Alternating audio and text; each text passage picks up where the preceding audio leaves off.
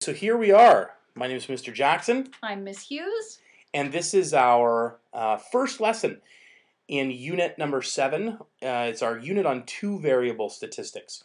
So, up until now, what we've looked at, if you've been following along, is we've looked at presenting and collecting data. Yep. We've looked at statistics of one variable, including measures of central tendency And dispersion. and relative position. Yep. And now we're moving into two variable statistics where we're going to look at one set of data which represents one variable and another set of data representing another variable and the relationship between them. Yes. So, to begin this unit, we're talking about um, correlations, specifically linear correlation, and scatter plots. Um, we've done some graphing already in Unit 5. And, And we'll use that some more in this. we're going to use well. that a little bit more, and we're going to expand upon that um, a little bit a little bit later on in this lesson. Mhm. So, a couple of questions to get started. Sure. I mean, the whole point of data analysis is to take observations of the world around you, put them together, and try to make some predictions. As a species, we like to try and predict the future yes, if we can. exactly. And we also like to see what relationships exist in terms of cause and effect or common cause, which we'll get to later. But there, are, there are questions that plague us. yes, like does ice cream consumption? Cause crime. Okay, this is an important question. It is. Are older people paid more in cottage country? Are the sales of small businesses affected by the amount of precipitation? If you were a small business in cottage country, this would be an important question to you. Yeah. Uh, these questions deal with possible relationships. Some of them silly, some of them likely, Yeah. between two variables. Now, often the answers are not clear cut because there are so many other variables that could interfere. But in this unit, Unit 7 2 variable stats, we're going to investigate methods for doing a few things. We're going to try and detect if a relationship exists between two variables. We're going to try to develop a mathematical model, like an equation, Yep. um, of those relationships. And then we're actually going to do a third thing. So maybe write this into your note. The third thing is we're going to try to then use those models, use those formulas and equations to make predictions Exactly. about the future. So we detect the relationship, we develop a model, and then we try to make predictions. So, to begin, though, we need to look at scatter plots because this is another area of um, graphing data um, that we need now to use because our histograms that we did before are not going to show, histograms, of course, show frequency of one variable. Well, now we kind of need to show the frequency of one variable and the frequency of another variable At the same time. at the same time. Yep. And um, uh, histograms are good for showing one bit of information. Scatter plots, though, can show us an independent and a dependent variable at the same time. Yep. So, what is a scatter plot? Well, the way that we define it and the way that your textbook defines it is a graph with one variable plotted on the x axis and another variable plotted on the y axis. And of course, this is the type of graph that, have, that you would have seen, right? Perhaps not called a scatter plot, but this is, you know, the kinds of graphs that you've been making in science, the kind of graphs that you've been making in math for a long time. One variable's on the x, one variable's on the y, and the pattern in the data shows the relationship between the 2 Mhm. So let's get to what we put on the x and the y, so the independent variable. So the independent variable goes on the x-axis. It's the variable that we think will affect the value of the other one. So in, in terms of time, we might say that the independent variable comes first and then the dependent variable comes second. Or that what happens to the independent variable or the x variable will have an effect or will have some kind of result on the y variable or the dependent Mhm. variable. So we, and we're making a hypothesis. Uh, Mhm. we're asking a question. We say, well, maybe ice cream causes crime. So then ice cream would be the independent variable. Mm-hmm. Yeah. And then crime rate would be the dependent variable. If we think Yeah. ice cream causes crime, if we think crime causes ice cream consumption to go up, maybe people feel Then it would guilty the and they go out and buy a pint of Haagen Dazs to And make themselves could. feel better. Then we would have the crime rate on the x. It's, so it all depends on your hypothesis. But we Yeah. put the x-axis independent variable, the one we think affects the other one. Okay? In science, what we would generally say is, is that an independent variable is what's controlled by the experimenter. It's what I'm going to change or manipulate, and then what I'm about to measure is the y variable is or the dependent variable. Yeah. So the dependent variable then is is a variable whose value is affected by something else, and that usually goes on the y-axis. Okay, so a linear correlation then is a relationship where we can say changes in one variable are proportional to changes in the other variable.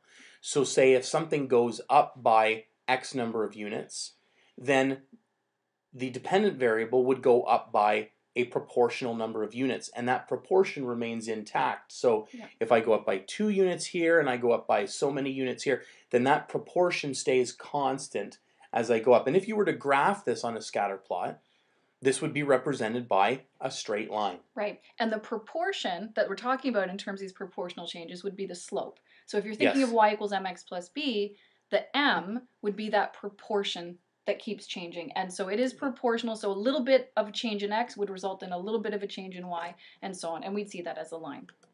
So a line of best fit is um, a, a line that it's a straight line that passes closest to the data points on a scatter plot. And so the way that we've always done this, you know, in grade 9, grade 10 science, grade 9, grade 10 math, is that when we create and when we draw a line of best fit, we eyeball it and we say, okay, well, it should pass through as many points as possible. Same number above as below. Same number above is below, and it should represent. Well, we're going to take the concept of the line of best fit to a new level in this unit. And in lesson three in particular. Lesson two, lesson three, two. lesson two in Yep. particular, and we're going to find, um, by way of data analysis, we're going to find the mathematically correct line of best fit. So not eyeballing it, we're going to predict the equation mathematically that tells us what the slope of the line of the best fit is and what the y-intercept is, so that it's it's not a guess anymore. It actually uses the data and predicts perfectly what we'd have. Yeah. So look forward to that. So here's an example, um, example one of a huge study.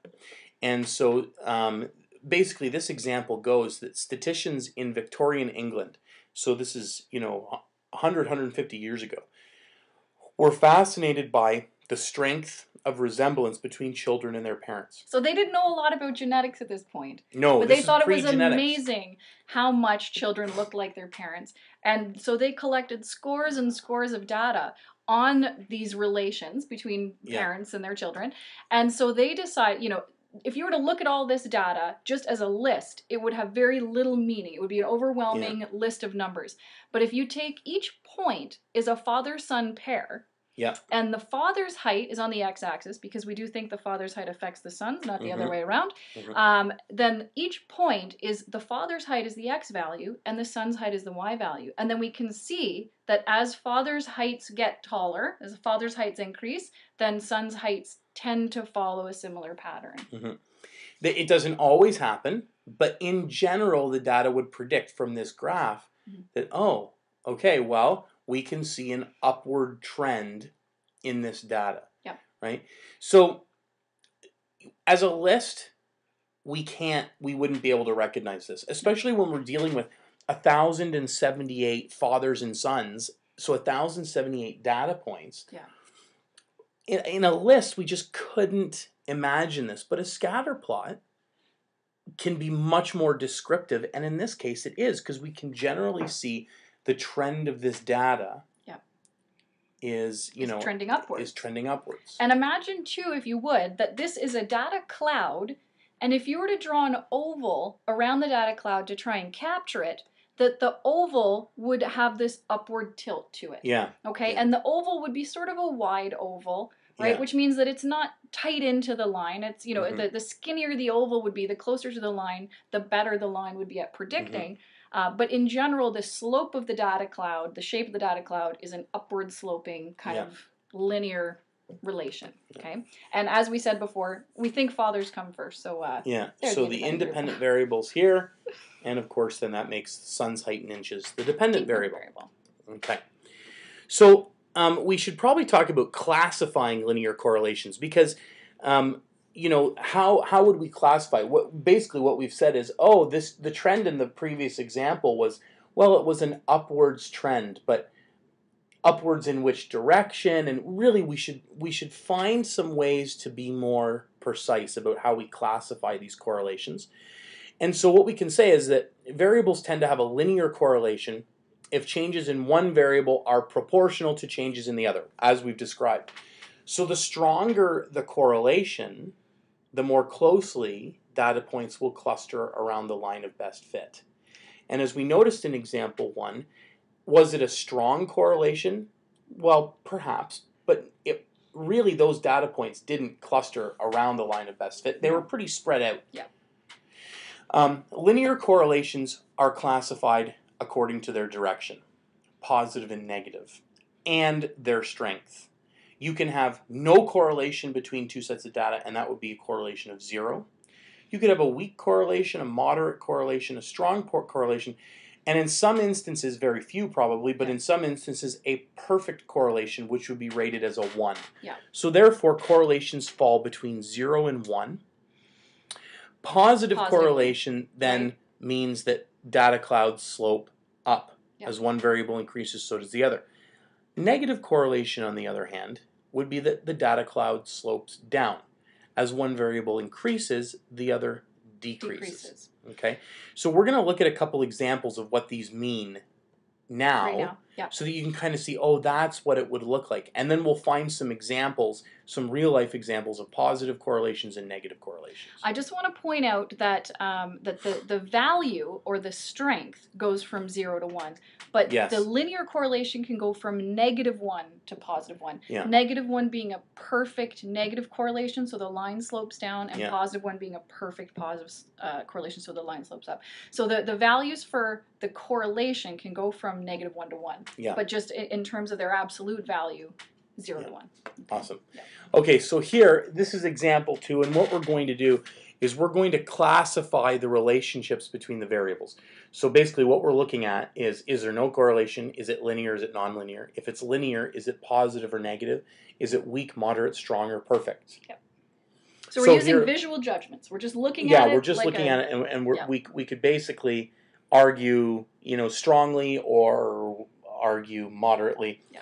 As the case may go. Yeah. Now here, in A, this is example two A, and basically what we have is we have this cloud of data Yeah.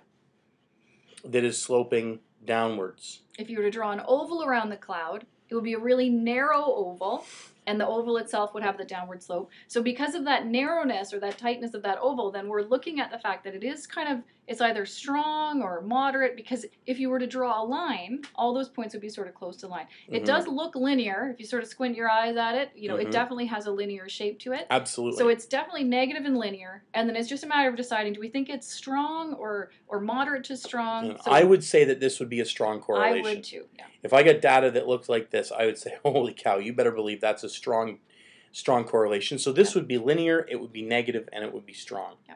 Okay, what about B? What about this set of data right here? Okay, so again, draw the cloud around it, like draw us an oval around the cloud. We can see that it's a general upward shape, Yep. and it is going upwards in sort of a linear pattern, Mhm. uh, but again, not as strong as the first one. Mhm. And so I would say linear, positive, and maybe moderate, Okay. or moderate And we could even make you could even make an argument for weak. Yeah.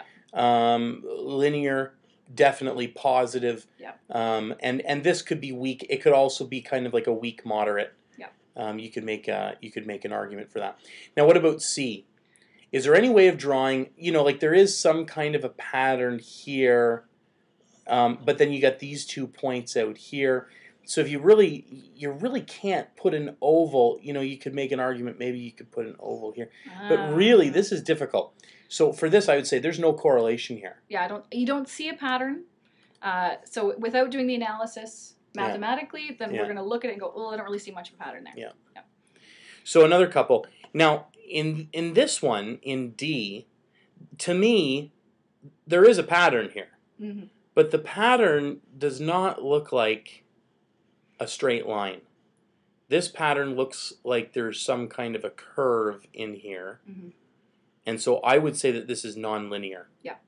And now with nonlinear associations, we can't say positive or negative because it's it goes up at one point and then turns around and goes down again later. So Mhm. we can't say it's positive or, or negative if it's nonlinear. But we could eyeball it and say, well, maybe it's like moderate or Yeah. strong or weak. Yeah. Um, Yeah. And again, we'll look at analyzing this mathematically later. Right now, we're just looking at them. So what, what do you think about this one? Again, I would say I don't see a pattern. If I try to draw an oval around it, it just becomes a square.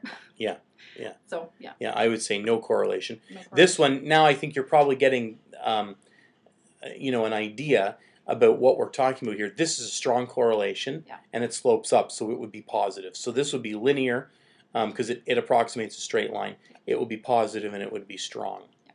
Okay. The last three we have here. Um, again, this right here, we could draw a cloud around this. Um, it's definitely sloping down, so I would say this would be linear.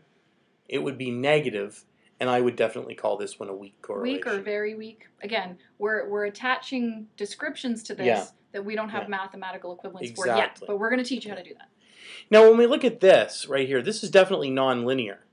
But look at this data. If you were to, you know, if you were to do an experiment and you got some data that was in this shape, this is very periodic, uh, you know, and and and replicates a sine curve or a cosine curve, which are nonlinear functions. So this would be a very strong correlation, Yeah.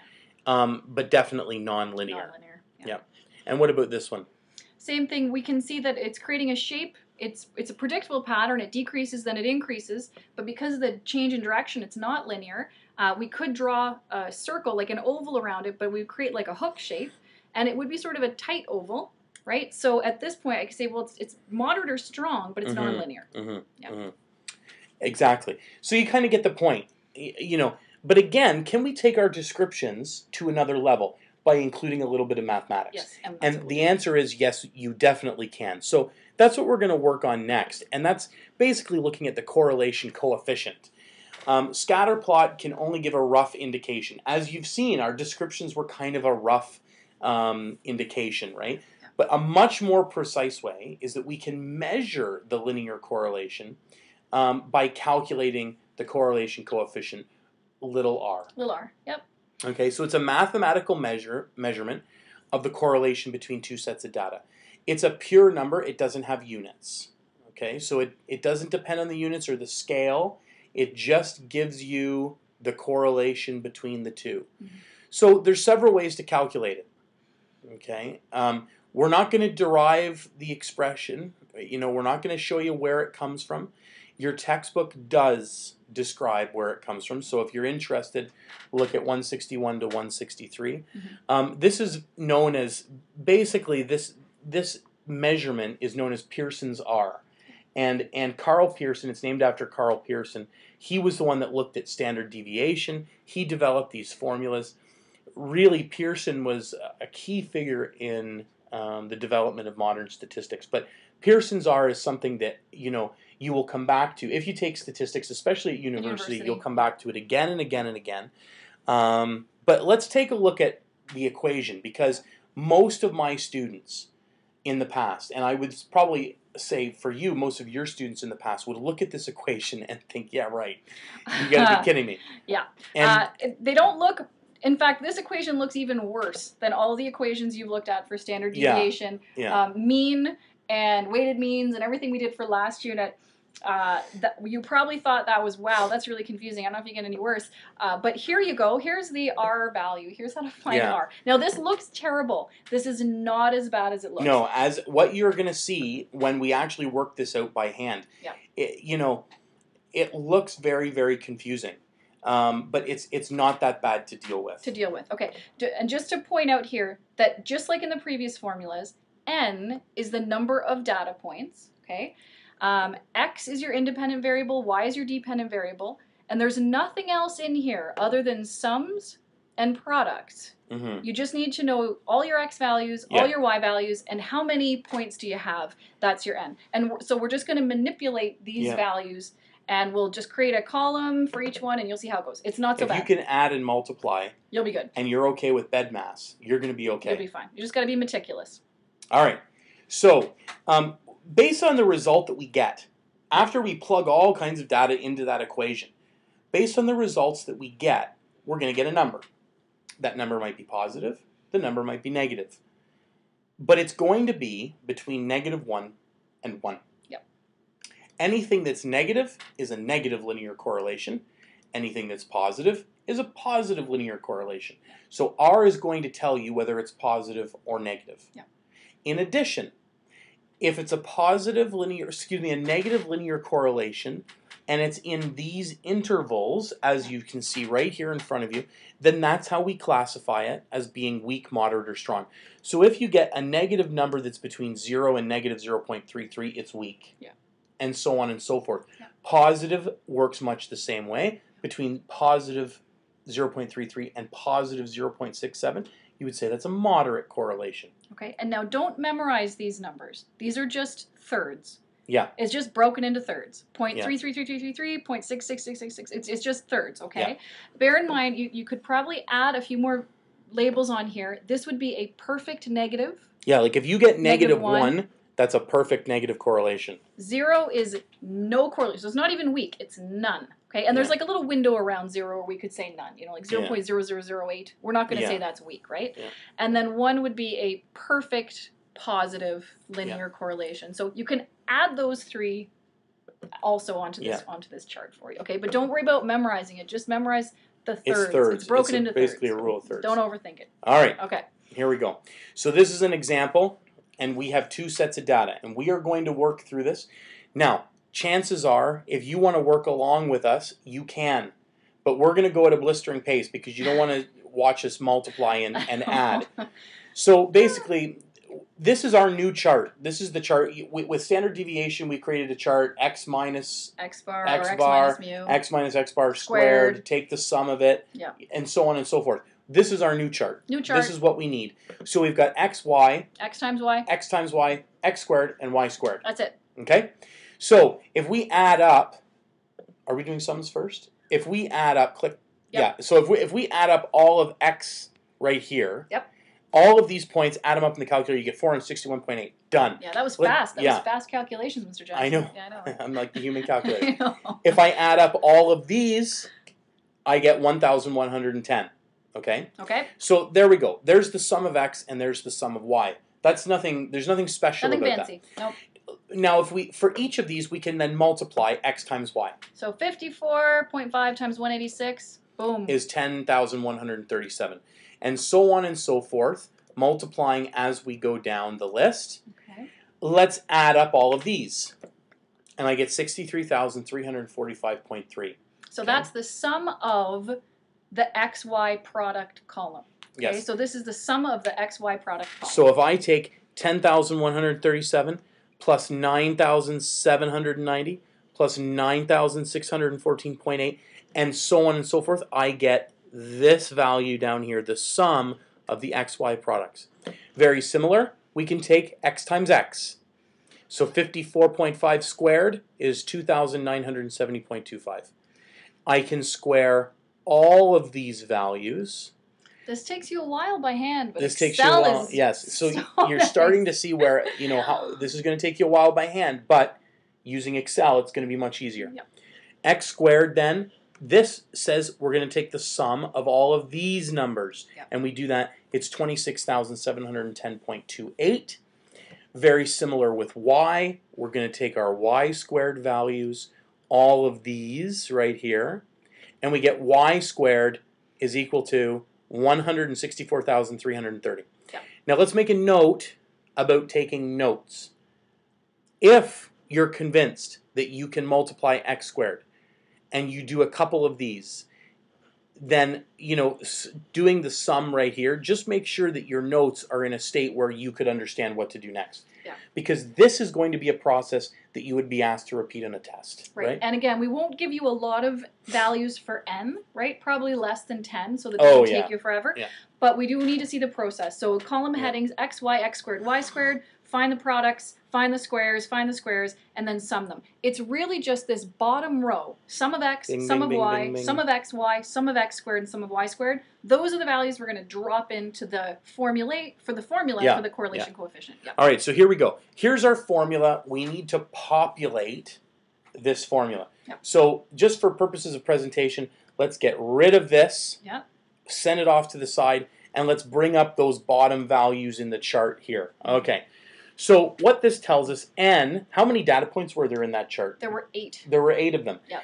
And this is saying, okay, so in the numerator, we're going to take n times the sum of xy minus the sum of x times the sum of y. So what does that look like? Well, here it is. 8 times the sum of xy. So here's the sum of xy right here. So we've taken this value and we've dropped it into the sum of x, y. This is multiplication, that's all it is. From that, we've subtracted the product of the sum of x times the sum of y. So here's the sum of x, 461.8. Here's the sum of y, 1,110. And we put that in there. Yep. Numerator, done. Denominator, A little more work. a little bit more work. Just more bad math. Let's wrap the square root around the whole thing because we're going to take the square root of the whole denominator. Yeah. Here, in one little bracket, which we've got right here, the square bracket, the first square bracket. is n times the sum of x squared. Well, here's the sum of x squared. So it's right here. And from that, we're subtracting the sum of x right here, All squared. all squared. Please note. Now this is the Yes. only this is the only place in this formula where students make substitution errors. After this, sometimes you make some mathematical errors with your square roots, so you're not doing bad math right. But this this is different from this. Yes. This is the sum of the x squared column, and this is the sum of x, whatever it is, all squared. Yeah. Okay. So when you write this, say to yourself n times the sum of x squared minus the sum of x all, all, squared. squared. Because this is the only spot where people make Yeah. major errors in substitution. Yep. And of course, if you get that, then the next bracket, which is over here, is virtually the same, except now we're just going to use the y values. So we've got n Yep. times right. the sum, sum of, of y, y squared squared column. So there's the sum of the y squared column minus, Minus the, the sum, sum of of y. all, squared. squared. Okay, so you can see exactly what we're doing there. Just take a note in your notes. Okay, Yep. very very different will lead to very different results. Okay, so now let's summarize and simplify our numerator and our denominator. Okay, so don't forget BEDMAS. Do eight times sixty-three thousand three hundred forty-five point three, Yeah. and then subtract the product. Yeah. So yeah. there, so here we, we're going to show you explicitly. Here's the BEDMAS. This is what we get. Denominator looks like square root of these two numbers. So because these are both in big square brackets, we do this first. Mm-hmm. So Okay. we've done the, what's inside the square brackets first. Now we're going to do the multiplication in the denominator and then take the square Yep. root. Okay, so when we do all that, and we encourage you on a test or in your notes as you're doing your homework to show this in even three or four lines. Like Yeah. you don't have to do it all in one step. Uh, No. Because that way, if you make a mistake, you can go back and troubleshoot. So we get an R value of negative 0.99 for Wow. this data. Wow. And so if we were going to classify this correlation, we were going to classify it. Mhm. We could say, okay, well, it's definitely negative because that's what the negative tells us. It's a negative says. negative correlation. So whatever these two data sets were, they they're experiencing a negative linear correlation. Yep. And it's strong. Very It's strong. a very strong correlation. Almost perfect. almost perfect. You can't say that this is perfect. Though. No. You can't. Um, you would say that this is very, very strong. So that's basically what we're going to use this for. And as you'll see in coming lessons, this is going to help us um, find that perfect line of best fit. This is the step, the first step towards finding that perfect line of best fit. Yep. Okay. So whenever possible, we want to look for the, the you know the scatter plot. We want to check for outliers, and maybe even a nonlinear association. So the thing that we have to understand is that the correlation coefficient on its own, we just said it was negative 0.99. That's not enough. We should probably also have a scatter plot so that we can see what the number's telling us. And this is most valuable when you get an R value that implies that it's a very weak linear correlation. Because you can have a very weak linear correlation, but still have almost a perfect nonlinear correlation. yeah. So the, the R value, if you're like, oh, you throw your hands up in the air and say, nope, 0.03, well, that's terrible. There's no correlation there. No, no, no. R only tells you that there's weak or no linear correlation. Yeah. You need to look at the scatter plot. Otherwise, Yeah. you can't really tell if there is a correlation that's maybe nonlinear. Yeah. And then you'll investigate other Yeah. avenues. Yeah, like if we put data for like a cosine curve or something that exhibited that, and we put that into value? we get a terrible R value. Terrible. But that doesn't tell us that there's no type, there's no association at all. It just tells us that there's not a linear association. So the other thing too, and uh, the reason why in your notes this is in big, this is in big starred, you know, bolded everything. because this is a very important moment that we're coming to. Just because you have a very strong linear correlation between two things Mhm. does not mean that you can say that then the independent variable, a change in the independent variable, causes a change in the dependent variable. You can only say that they're correlated, and they're correlated very strongly. Correlation does not equal causation. It doesn't, they, they don't mean the same things. And it's because really, the type of statistics that we're doing, we don't have the right, using the statistics that we're using, we don't have the right to say this causes this. Because a lot of correlations could be due to chance. Some correlations could be due to something else that's happening. A third factor Yeah. that is actually causing the other two to rise together or fall together. And so, really, in depth statistics can help us lead to causation, and in depth science and experiment, those can help us lead to causation. Correlation alone is almost like, you know, we don't have the right at this point with what we know to be able to say this is causing this. Yeah. And the reason that we don't is because we're we just we're we, we're not basing it on enough evidence. So at this point, this is very important for this course.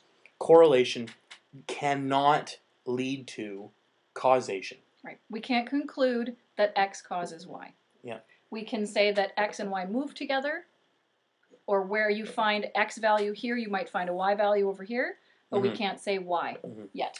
So a very good example of this: ice cream sales And crime rate. and crime rate. Now, in my first year psychology class in university, Yeah. they showed us the correlation coefficient between ice cream sales and crime rate is very, very high. It Yeah. is it is a fabulous correlation between ice cream sales and crime rate. And so the question he asked us was does ice cream sales cause an increase in crime or would crime rates cause an increase in ice cream sales?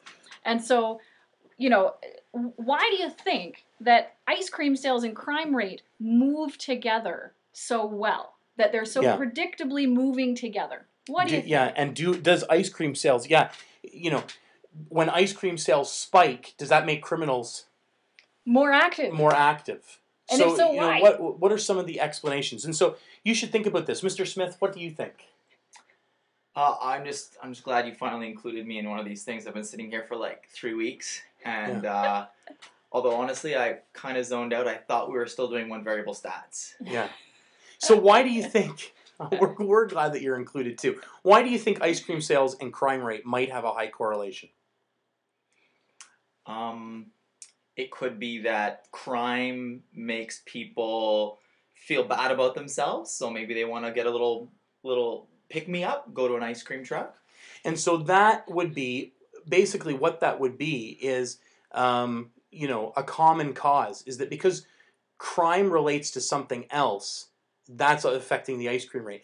A very, very typical explanation for this is because um, ice cream sales usually peak during the summer months. Warmer weather. right? In warmer weather. Yeah. Well, it turns out that crime also peaks during, During the summer months. Yeah. Um, you know, for in warmer weather, and so this is the example um, that's that's classic. That ice cream sales, you can't use a correlation to say that ice cream sales cause crime rate. Both of them change with the seasons. And so this is what's known as a common cause factor. And we're going to be explaining all of these things a little bit later on in the unit, but this is one of this is one example why ice cream sales and crime rate have such a high correlation. Thank you to Mr. Smith. Uh, I'm gonna go get some ice cream now. All right. and and